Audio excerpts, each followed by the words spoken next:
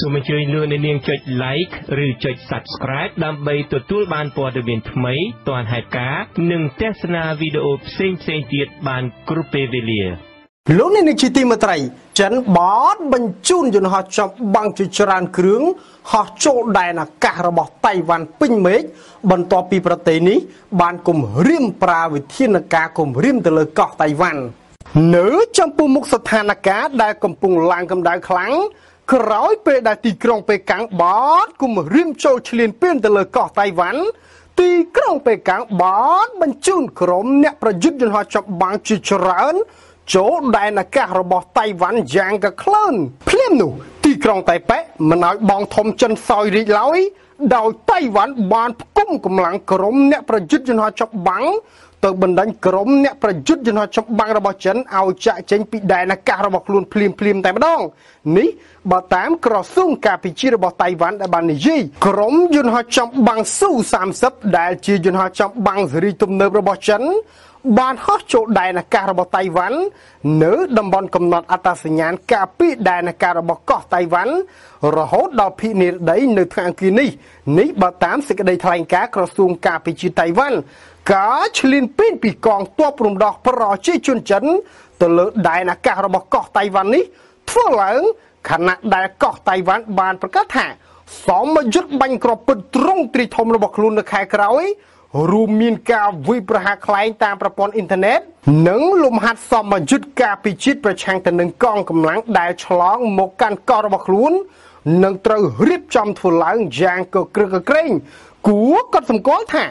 ការប្រកាសរៀបចំធ្វើលំហាត់សមយុទ្ធរបស់កោះតៃវ៉ាន់នេះធ្វើឡើងដោយផ្កើនទៅនឹងទីក្រុងប៉េកាំងពេញទំហឹងបើទោះបីជាតៃវ៉ាន់ដឹងហើយថាចិនក្រុងនឹងរៀបចំលំហាត់សមយុទ្ធជ្រែកសមុទ្រក្នុងពេលដែលភាពតានតឹងកំពុងកើនឡើងក៏ដោយកាលពីថ្ងៃទី10ខែកុម្ភៈ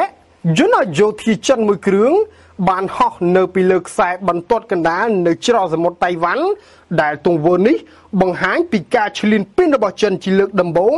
ចាប់តាំងពីការឈ្នះឆ្នោតឡើងវិញនៅខែមករារបស់លោកស្រីសៃអ៊ីងវ៉ែនចាប់តាំងពីពេលនោះមកតៃវ៉ាន់បានរាយការណ៍អំពីសមយុទ្ធកងទ័ពការរបស់ចិននៅជិតកោះរបស់ខ្លួនផ្ទួនផ្ទួនតែម្ដងកាលពីពេលថ្មីថ្មីនេះឧត្តមសេនីយ៍ចិនមួយរូបបានលើកឡើងថាចិននឹងប្រើកម្លាំងយោធាវាយទៅលើកោះតៃវ៉ាន់ ដើម្បីបង្អាក់កោះនេះពីការប្រកាសឯករាជ្យក្នុងពេលដែលចិនប្រកាសនោះវត្តមាននាវាចម្បាំងរបស់អាមេរិកបានកាងឲ្យតៃវ៉ាន់រួចជាស្រេចបើសិនជាកងទ័ពរំដោះប្រជាជនចិនហ៊ានបើកកាវវិលុកទាំងភ្នែនហក់ទៅមែននោះកងទ័ពចិនប្រកាសជាត្រូវពេញទំហឹងដាច់ផ្ងាដោយកងទ័ពអាមេរិកជាជាមិនខានកងទ័ពតៃវ៉ាន់បានប្រកាសរួចហើយថាតៃវ៉ាន់មិនខ្លាចចិននោះទេ ទោះបីជាហក់មកទាំងភ្នែនទៀតក៏តៃវ៉ាន់អត់ព្រឹងរោមដែរលោកនេះជាទីមេត្រីជើងព្រួលសង្គ្រាមរុស្ស៊ីកំពុងលូនសន្សំសន្សំខណៈដែលប្រទេសនេះរៀបចំធ្វើលំហាត់សមយុទ្ធទ្រង់ទ្រីធំនៅភាគខាងកើត ក្នុងពេលដែលស្ថានភាពកំពុងឡើងកម្ដៅខ្លាំងជាមួយអង្គការ NATO នៅចំពោះមុខភាពតានតឹងជាមួយអង្គការ NATO រុស្ស៊ីបានផ្គុំកម្លាំងក្រុមអ្នកប្រយុទ្ធកងវរៈសេនាមីស៊ីលធុនធ្ងន់ S400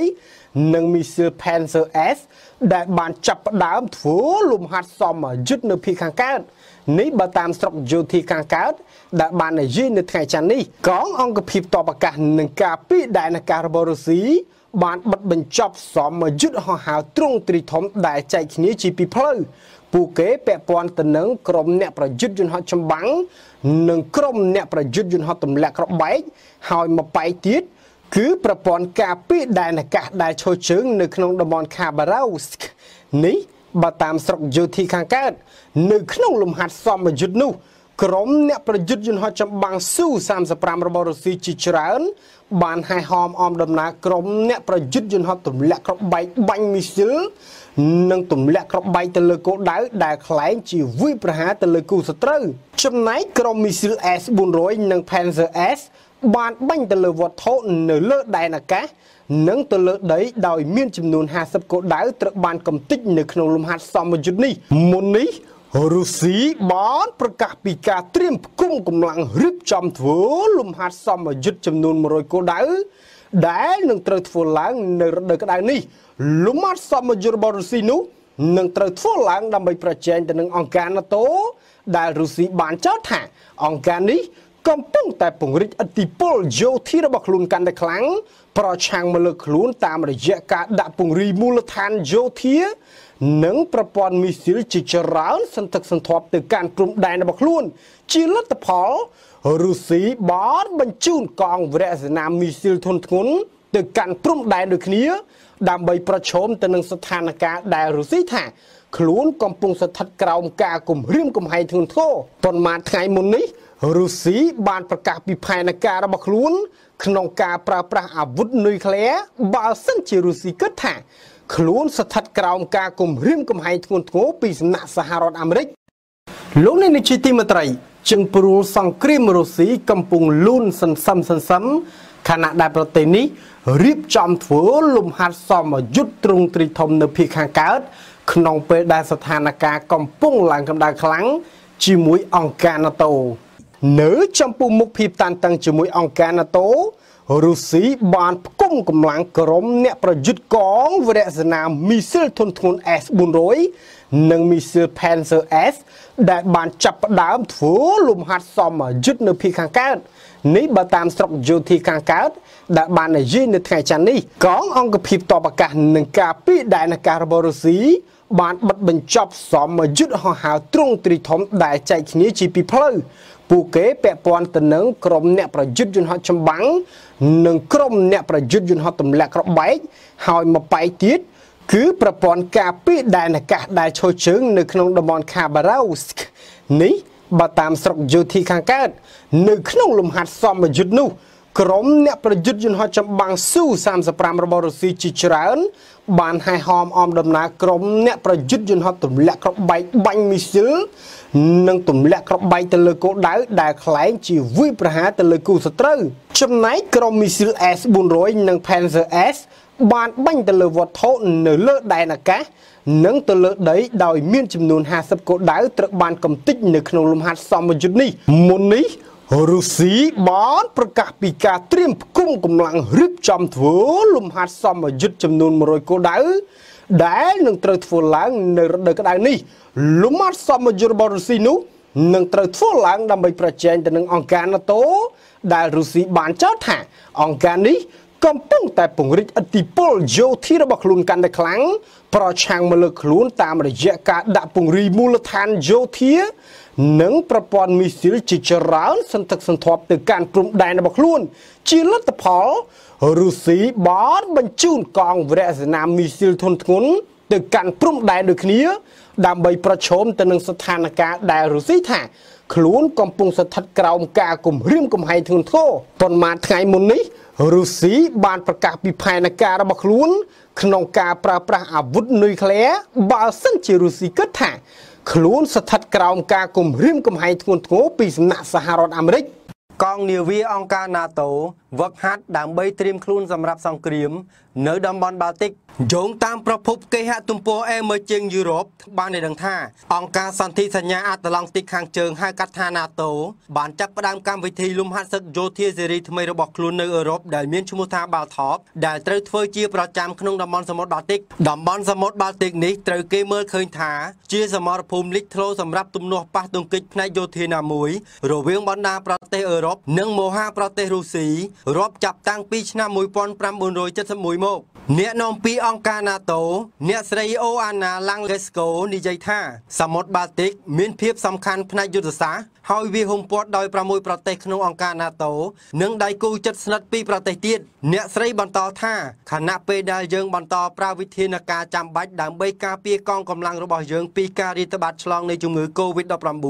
យើងនៅតែមុតមមដដែលក្នុងការត្រៀមខ្លួនធ្វើប្រតិបត្តិការក្នុងសង្គ្រាមណាមួយទៀតដែលអាចកើតមាន លំហាត់យោធាឆ្នាំនេះរួមមានទាំងផ្នែកដែនអាកាសដែនសមុទ្រដែលចូលរួមដោយសម្ព័ន្ធមិត្ត NATO ទាំង19ប្រទេសនិងបណ្ដាប្រទេសជាដៃគូមួយចំនួនទៀតហើយលបែងសង្គ្រាមដែលនឹងអនុវត្តក្នុងលំហាត់សឹកនេះនឹងផ្ដោតទៅលើព្រឹត្តិការណ៍បណ្ដុះបណ្ដាលវឹកវើនៅបច្ចេកទេសការពារដែនអាកាសបច្ចេកទេសប្រឆាំងនាវាមួយទឹកវិធីរារាំងសត្រូវតាមដែនសមុទ្រនិងប្រតិបត្តិការប្រឆាំងគ្រាប់មីនតាមសមុទ្រអ្នកស្រី Lisa Franchetti ដែលជាឧត្តមនាវីរងរបស់សហរដ្ឋអាមេរិកនិយាយយថា លំហាត់សឹកបាល់ថបផ្ដល់ឱកាសឲ្យអង្គការ NATO និងប្រជាជាតិជាដៃគូធ្វើប្រតិបត្តិការរួមគ្នាចែកប្រោវិធីសាស្ត្រគ្នា ដើម្បីធ្វើឲ្យកាន់តែប្រសើរនៅការប្រយុទ្ធក្នុងសង្គ្រាមជាក់ស្ដែងនេះជាលើកទី1ហើយដែលលំហាត់សឹកនេះនឹងត្រូវបញ្ជាចេញពីដែនសមុទ្រទៅវិញដោយកងកម្លាំងគ្រប់គ្រងនិងវាប្រហាររបស់កងទ័ពជើងទឹកនៃអង្គការ NATO ហៅកាត់ថា Strike for NATO ដែលមានទីបញ្ជាការធំនៅក្នុងរដ្ឋធានីលីស្បូនប្រទេសប៉ូទុយហ្គាល់ បញ្ជាការក្នុងលំហាត់សឹកនេះធ្វើឡើងដោយមជ្ឈមណ្ឌលប្រតិបត្តិការរួមគ្នាថ្មីមួយដើម្បីធានាសុវត្ថិភាពនិងសុខភាពដល់អ្នកចូលរួមនិងដល់បុគ្គលិកនាវាលំហាត់សឹកបាថោ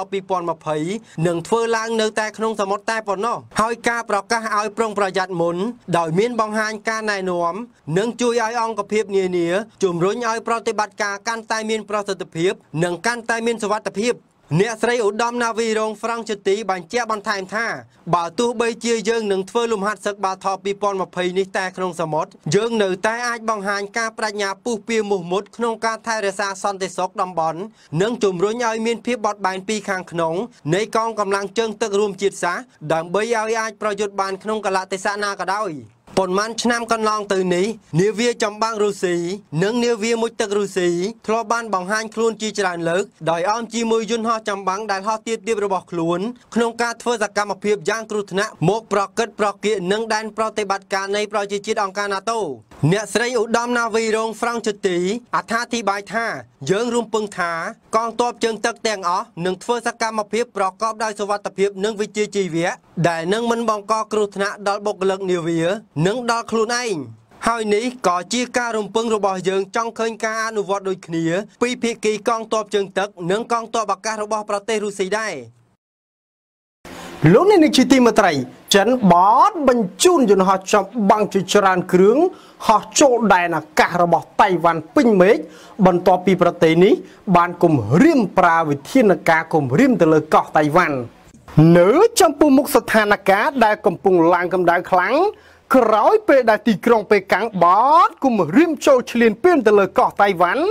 ទីក្រុងប៉េកាំងបតបញ្ជូនក្រុមអ្នកប្រយុទ្ធយន្តហោះចំបាំងជាច្រើន ចូលដែនអាកាសរបស់តៃវ៉ាន់យ៉ាងកក្លឿនភ្លាមនោះទីក្រុងតៃប៉េមិនឲ្យបងធំចិនសោយរីកឡើយដោយតៃវ៉ាន់បានផ្គុំកម្លាំងក្រុមអ្នកប្រយុទ្ធយន្តហោះចាប់បាំងទៅបណ្ដាញក្រុមអ្នកប្រយុទ្ធយន្តហោះចម្បាំងរបស់ចិនឲ្យចាក់ចេញពីដែនអាកាសរបស់ខ្លួនភ្លាមភ្លាមតែម្ដង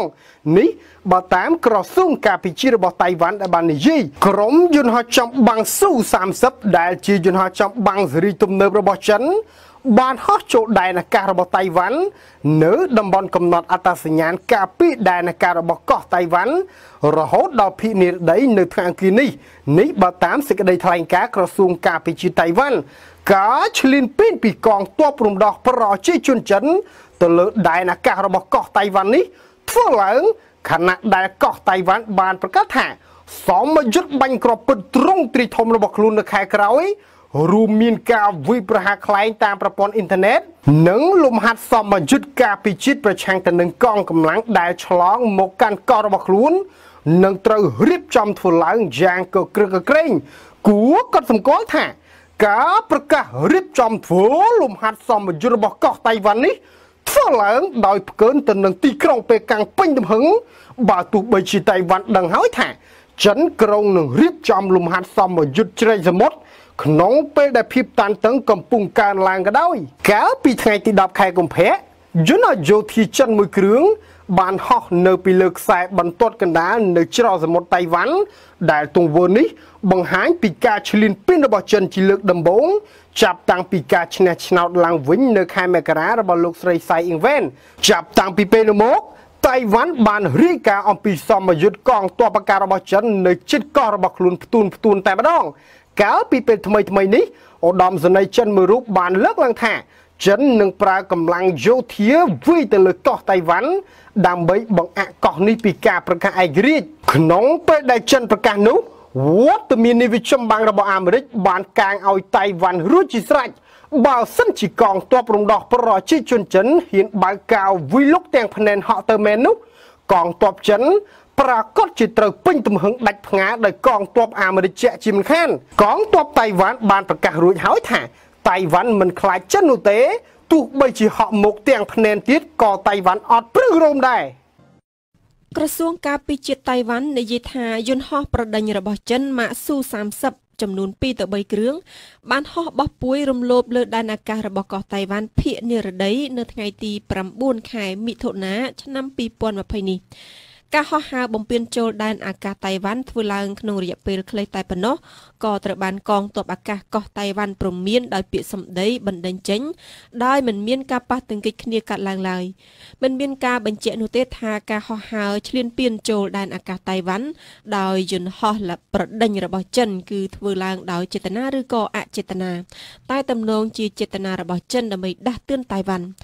ការចូលលុកលុយដែនអាកាសតៃវ៉ាន់ដោយយន្តហោះប្រដេញរបស់ចិននាពេលនេះខណៈដែលតៃវ៉ាន់ប្រកាស ពីការធ្វើសមយុទ្ធបាញ់គ្រាប់ពិតហៅថាហាន់កាំងនៅខែក្រោយនេះសមយុទ្ធនេះធ្វើឡើងដើម្បីការពារប្រឆាំងទល់នឹងកងកម្លាំងដែលចូលមកជន់លើដែនកោះដោយគ្មានការអនុញ្ញាត សមយុទ្ធបាញ់គ្រាប់ពិតនេះទៀតសោតចិនប្រកាសជាមិនពេញចិត្តឡើយបើតាមការកត់សម្គាល់ចិនបានបង្កើនការល្បាតនៅបរិវេណគៀកកោះតៃវ៉ាន់តាំងពីលោកស្រីសៃអ៊ីងវិនបានជាប់ឆ្នោតជាប្រធានាធិបតីតៃវ៉ាន់ក្នុងឆ្នាំ2016មកម្លេះ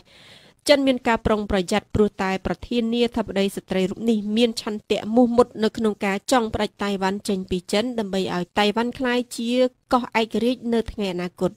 តែចិនអះអាងថាការបញ្ជូននាវានិងយន្តហោះទៅក្បែរដែនទឹកនិងដែនអាកាសតៃវ៉ាន់គ្រាន់តែជាការល្បាតធម្មតាធម្មតាប៉ុណ្ណោះចំពោះចិនចាត់ទុកតៃវ៉ាន់ជាផ្នែកមួយនៃប្រទេសរបស់ចិន ហើយមិនដែលបោះបង់ចោលជំរឿសយោធា ដើម្បីក្រសោបយកតៃវ៉ាន់ឡើយបើរដ្ឋាភិបាលទីក្រុងតៃប៉េមាននេះឬបំរាស់ចង់ផ្ដាច់ខ្លួន នៅក្នុងរយៈពេលប្រមាណខែថ្មីថ្មីនេះបើទោះបីជាចិនជាប់ដៃប្រយុទ្ធប្រឆាំងនឹងវីរុសកូវីដ -19 ឬក៏ COVID-19 ក៏ដោយប៉ុន្តែទីក្រុងប៉េកាំងមិនបានទម្លាក់ដៃនៅក្នុងការឃ្លាំមើលតៃវ៉ាន់ទេផ្ទុយទៅវិញបានបង្កើនការល្បាតកាន់តែញឹកញាប់ជាងមុនទាំងតាមផ្លូវទឹកនិងផ្លូវអាកាសតាមរយៈការបញ្ជូននាវានិងយន្តហោះយ៉ាងរដឹកទៅក្រវ៉ាល់ក្បែរក្បែរកោះតៃវ៉ាន់ តែបើនិយាយពីការហោះរំលោភចូលដែនអាកាសតៃវ៉ាន់វិញនេះមិនមែនជារឿងថ្មីទេមិនមែនជាលើកទី1ព្រោះកាលពីថ្ងៃទី10ខែកុម្ភៈក្រោយលោកស្រីសៃអ៊ីងវិនជាប់ឆ្នោតជាប្រធានាធិបតីតៃវ៉ាន់អាណត្តិទី2ចិនក៏ធ្លាប់បានលុកលុយចូលដែនអាកាសតៃវ៉ាន់ក្នុងទ្រង់ទ្រាយធំជាងនេះទៀតផង